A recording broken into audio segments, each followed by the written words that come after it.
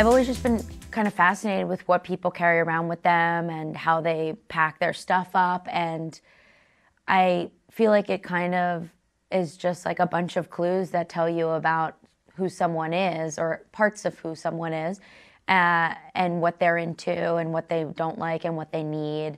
Um, and it's very voyeuristic and, and it's such a private space that I just thought it would be so interesting to do a little fan fiction of these famous people, and then there's really well known fictional characters in the book as well.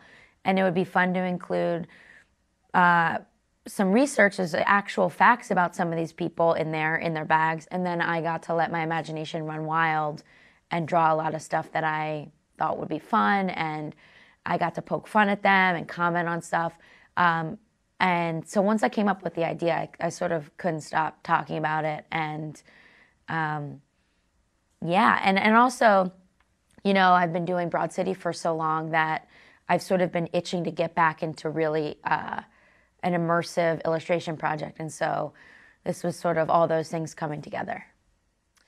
Well, I did research, um, I did a bunch of research on these people and um, sort of found out like different facts. And obviously, there's a lot not included on the page. There's a lot more to these people, there's a lot more information about them, obviously. But I sort of picked stuff I thought was interesting, whether it was um, items I really wanted to draw or, or something about them I really wanted to comment on. So, Anna Wintour's one of the, you know, hers is a spread, and one of them is the September issue, sort of like thought uh, workbook of hers.